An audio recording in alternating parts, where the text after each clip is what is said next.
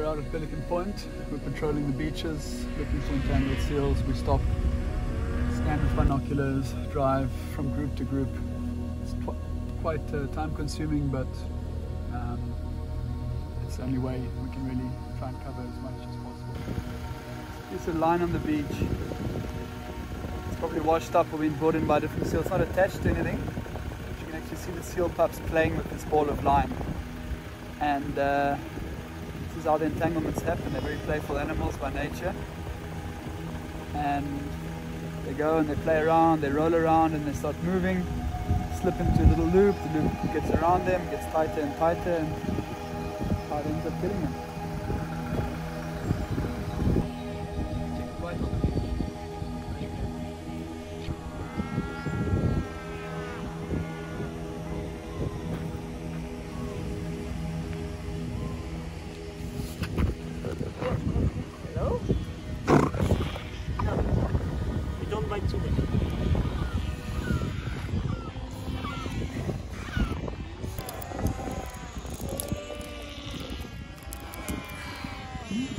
A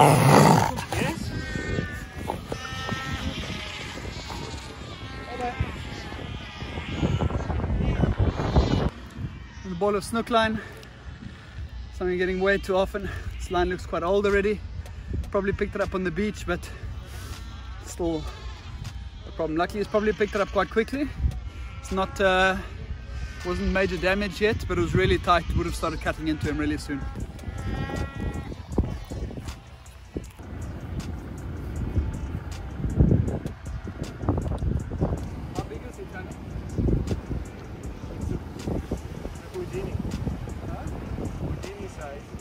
Okay. Um, so I think I'm going to run in by hand. Maybe follow with a, with Yeah. a net, just in case it's a bit bigger than we, we planned.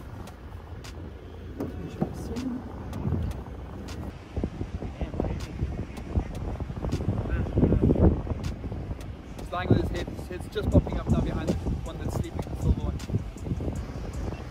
So see all the weird whiting around his neck. Um, I'm going by hand because it's quite close to the water. Tony will follow with the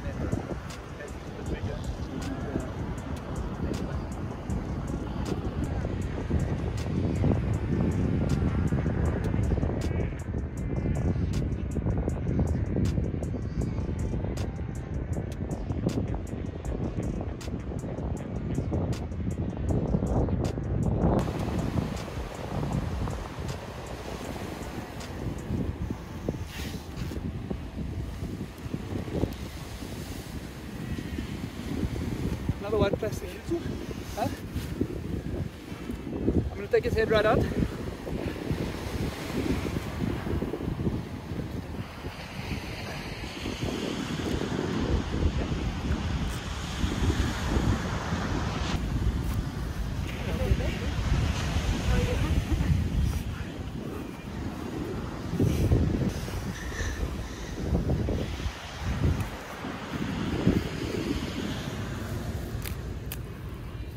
There you go.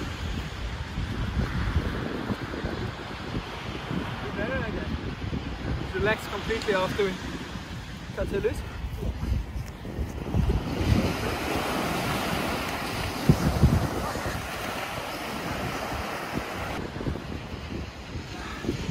Definitely some sort of plastic bag.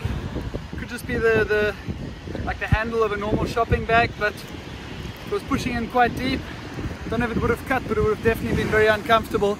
Maybe even caused some damage at a later stage. So I'm sure he's very happy to be rid of that.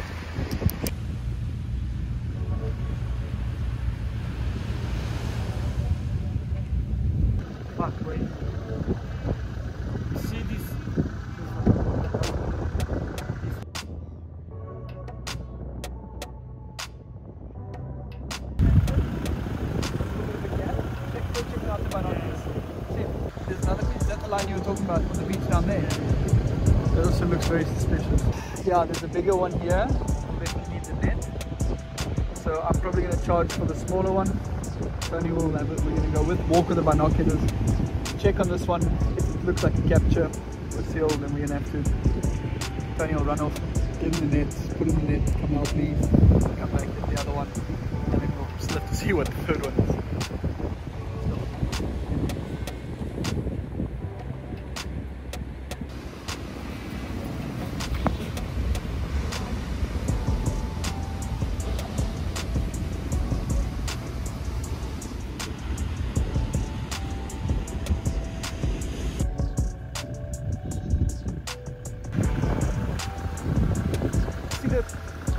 And then there's a big one behind it. Behind that big one to the left. You just see a loop of Oh, line yeah, sticking yeah. out now. It's actually a lot more attached to that.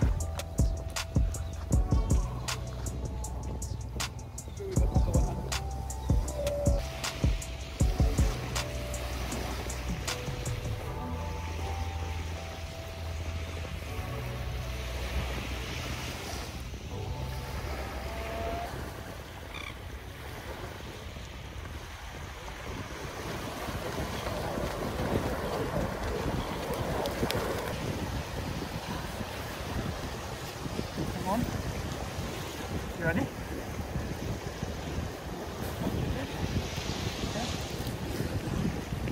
Hello.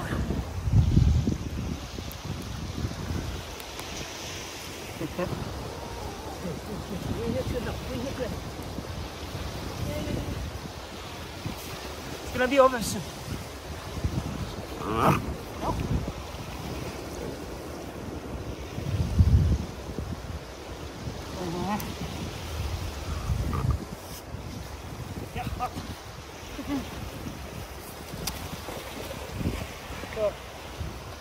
Such a thin piece of line, causing so much damage.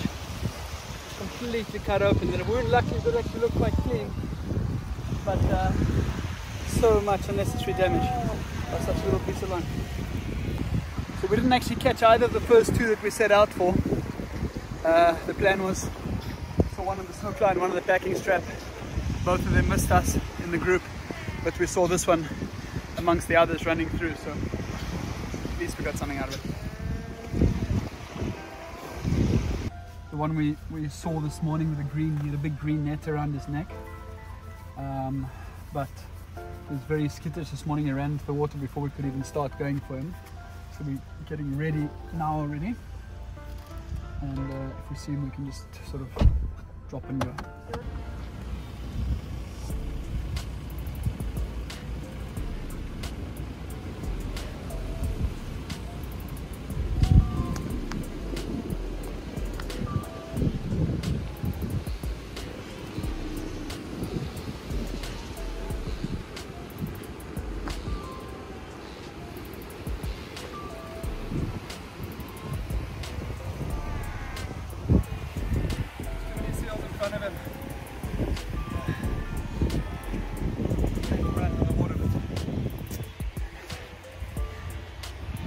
Very close. Big uh, green trawler net. But hopefully we'll get him soon. It was right around his face, but I didn't see it going through his mouth. The fresh entanglement won't be hurting him too much yet, so hopefully we do still have a few days. So um, yeah, it was a successful in the sense we caught five seals, but time, same time we also missed probably another five. It's not always that easy, especially at the moment. It's very sunny and the seals are close to the water. Um, so it's always a 50-50 if we're actually going to get them or not. Um, there were two in particular that we missed, we were a bit bummed about, but five is still a really good number. The one or two with really bad injuries, so very good that we got them in time. Otherwise, all in all, actually quite an average day for us here. The problem is real. There's just way too much plastic in the water, way too much discarded fishing waste. So we need to be better about uh, what we do with our waste. Let's try again tomorrow.